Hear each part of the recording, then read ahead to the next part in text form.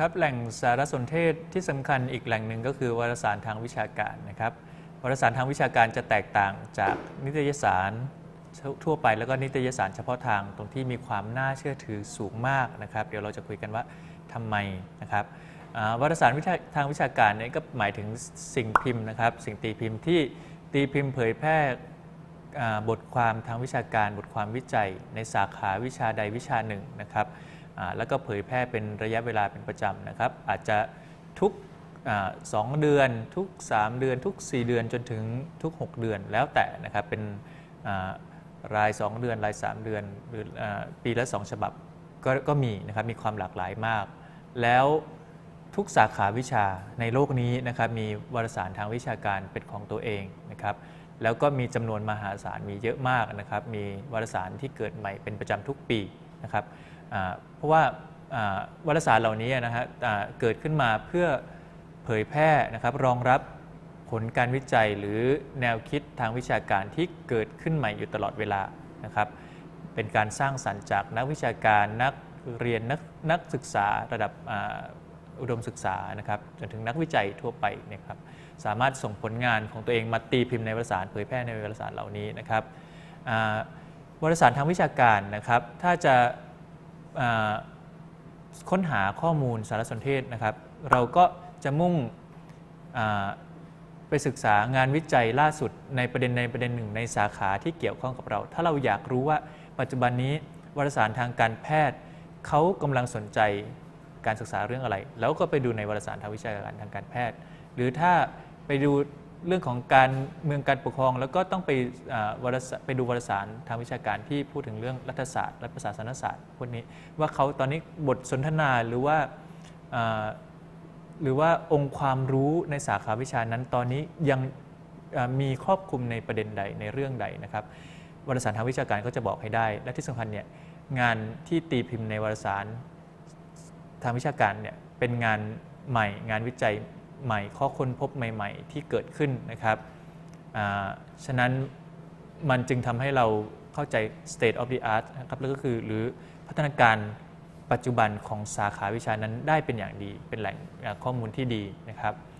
บทความที่เขียนในวารสารประเภทนี้นะครับ ก็จะส่วนใหญ่เลยเนี่ยนะฮะทั้งหมดเนี่ยนะครับก็จะเป็นผู้เชี่ยวชาญนะครับที่เกี่ยวข้องกับสาขาวิชานั้นๆ ไม่ว่าจะเป็น คณาจารย์ นักวิจัยนะครับผู้ทรงคุณวุฒินักศึกษาที่ศึกษาในวิชานั้นๆสาขาวิชานั้นๆครับทำการวิจัยทำการวิเคราะห์ข้อมูล หรือทำการวิเคราะห์ตรรกะวิทยาแนวคิดอะไรต่างๆอ่าเอามาเขียนเป็นบทความวิจัย บทความวิชาการออกมานะครับ ประเด็นที่สำคัญเนี่ยนะครับบทความเหล่านี้ยังผ่านการประเมินนะครับ ผ่านการประเมินจากผู้ทรงคุณวุฒิในสาขาวิชาเดียวกันด้วยนะครับ ซึ่งมันก็จะทำให้มีความน่าเชื่อถือมาก ในการประเมินบทความหนึ่งๆเนี่ยอาจจะใช้อย่างน้อยๆบทวารสารที่ดีนะฮะใช้ผู้ทรงคุณวุฒิอย่างน้อยสองท่านในการอ่านในการตรวจประเมินว่าบทความที่จะมาตีพิมพ์เนี่ยมีมีข้อมูลที่ดีไหมมีตรรกะวิทยาที่ดีไหมหรือระเบียบวิธีวิจัยที่เหมาะสมหรือเปล่า แล้วก็การอภิปรายผลการนำเสนอผลเนี่ยมัน มันเหมาะสมหรือไม่นะครับ อันนี้ก็จะผ่านตาอย่างน้อย 2 คนนะครับ ถ้าบาง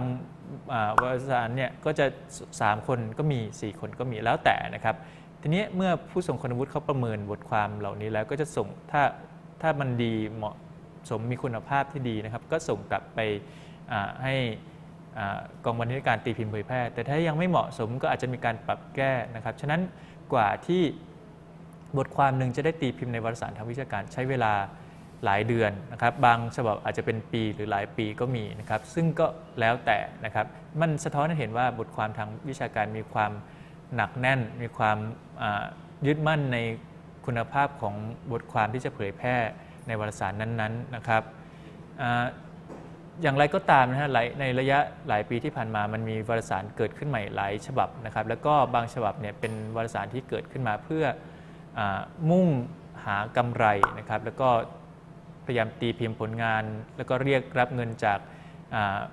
ผู้เขียนให้ได้มากที่สุดเท่าที่จะทำได้ บทความเหล่านี้ก็เป็นวารสารเหล่านี้นะครับก็เป็นวารสารที่ไม่น่าเชื่อถือ ซึ่งซึ่งมันปรากฏอยู่ในรายการที่เรียกว่าเบลลิสนะครับก็คือเป็นเป็นวารสารที่ต้องห้ามหรือว่ามีข้อควรพึงระวังอย่างสูงนะครับ ติดธงแดงเนี่ยนะฮะไว้ว่าเป็นวารสารที่ที่ไม่เหมาะสมต่อการ ตีพิมพ์เผยแพร่ผลงานก็มีนะครับอย่างไรก็ตามวารสารเนี่ยวารสารทางวิชาการ ถ้าเราจัดลำดับความสำคัญนะครับความน่าเชื่อถือของแหล่งข้อมูลข่าวสารทางวิชาการหรือทางการวิจัยเนี่ยที่จะใช้ไปในงานของเราเนี่ยนะครับก็วารสารทางวิชาการก็จะอยู่อันดับสูงสุดนะครับ เนื่องจากว่าเป็นผลงานที่ใหม่นะครับเป็นผลการวิจัยใหม่ ผ่านการ วิเคราะห์วิจารณ์นะครับประเมินคุณค่าโดยผู้เชี่ยวชาญนะครับฉะนั้นจึงเหมาะสมอย่างยิ่งสำหรับการใช้ในการเผยแพร่หรืออ้างอิงในในงานของเรานะครับ นอกจากนั้นวารสารทางวิชาการยังเหมาะสำหรับการค้นหาข้อมูลทางสถิตินะครับแผนภาพหรือแผนผังกรอบแนวคิดการวิจัย และพวกนี้ได้ด้วยนะครับนอกจากนั้นบรรณานุกรมหรือรายการหนังสืออ้างอิงที่ปรากฏในท้ายบทความวารสารบทความที่ตีพิมพ์ในวารสารเหล่านี้ ยังเป็นแหล่งข้อมูลที่ดีสำหรับ ในการที่เราจะไปเสาะหาแหล่งข้อมูลอื่น ๆ เพิ่มเติมที่น่าเชื่อถือที่เขาใช้กันในวงวิชาการนะครับฉะนั้นวารสารทางวิชาการจึงมีบทบาทสำคัญมีความสำคัญสูงมากนะครับวารสารทางวิชาการเหมาะสำหรับใครครับก็เหมาะสำหรับนักวิชาการแน่นอนนะครับผู้ในอยู่ในสาขาวิชานั้นๆ นักวิจัย professional หรือนักวิชาชีพนะฮะหรือว่านักศึกษานักศึกษาที่กำลังศึกษาอยู่ในสาขา ต่างๆนะครับก็ทั้งระดับปริญญาตรี ปริญญาโทปริญญาเอก แล้วก็จนถึงหลังปริญญาเอกวารสารทางวิชาการจึงเป็นแหล่งข้อมูลสำคัญที่สุดนะครับของ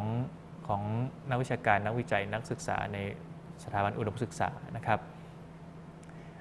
อย่างไรก็ตามนะครับ ข้อพึงระวังในการใช้วารสารทางวิชาการเนี่ยก็คือว่าเนื่องจากเป็นวารสารเฉพาะทางมาก ๆ เป็นศาสตร์ ที่เกี่ยวข้องกับทฤษฎี และก็ระเบียบวิธีวิจัย เฉพาะทางมากๆเนี่ยผู้อ่านโดยทั่วไปอาจจะเข้าไม่ถึงหรืออ่านแล้วไม่เข้าใจ เพราะด้วยคำศัพท์เฉพาะทางด้วยระเบียบวิธี หรือคำอธิบายบางอย่างเนี่ยเราอ่านเนี่ยถ้าเป็นอ่านเราเป็นผู้อ่านโดยทั่วไป อาจจะอ่านครั้งแรกเนี่ยสองสามครั้งแรกอาจจะไม่เข้าใจเลยนะครับแม้แต่ผู้ที่เชี่ยวชาญในสาขาวิชาหนึ่งไปอ่านบทความ ของอีกสาขาวิชาหนึ่งก็ไม่มีทางที่จะเข้าใจได้ในการอ่านเพียงครั้งแรก ถ้าเราไม่คุ้นชินกับวารสารเฉพาะทางนั้นๆ มาก่อนนะครับหรือว่ามันไม่อยู่ในสายสาขาวิชาของเรานะครับ เช่นสายทางภาษาศาสตร์ จะไปอ่านงานที่อยู่ในสายฟิสิกส์นี้ก็ก็เป็นไปไม่ได้อยู่แล้วใช่ไหมฮะโดยโดยพื้นฐานความรู้คนละอย่างกัน หรือแม้แต่ในสายสังคมศาสตร์ มนุษยวิทยาจะไปอ่านงานของทางรัฐประศาสนศาสตร์อย่างเงี้ยนะครับก็ก็แทบจะ ทบจะอ่านไม่เข้าใจคอนเซปต์บางอย่างกว้างๆอาจจะเข้าใจ แต่ว่าถ้ารายละเอียดเจาะจงลงไปเนี่ยนะครับต้องใช้เวลานานมากจึงจะเข้าใจต้องอ่านหลาย ๆ รอบ หรืออ่านหลาย ๆ บทความในสาขาวิชานั้น จึงจะเข้าใจได้นะครับฉะนั้นผู้อ่านทั่วไปเนี่ยกลุ่มผู้อ่านโดยทั่วไปนักเรียนระดับมัธยมหรือประถมหรือหรือหรือคนที่ประชาชนสาธารณชนโดยทั่วไปจะมาอ่านวารสารทางวิชาการจึง จึง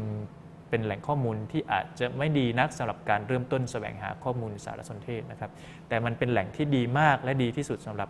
นักเรียนนักศึกษา นักวิชาการนักวิจัยคณาจารย์ในสาขาวิชานั้นๆนะครับ โดยเฉพาะอย่างยิ่งในระดับอุดมศึกษาเนี่ยนะครับ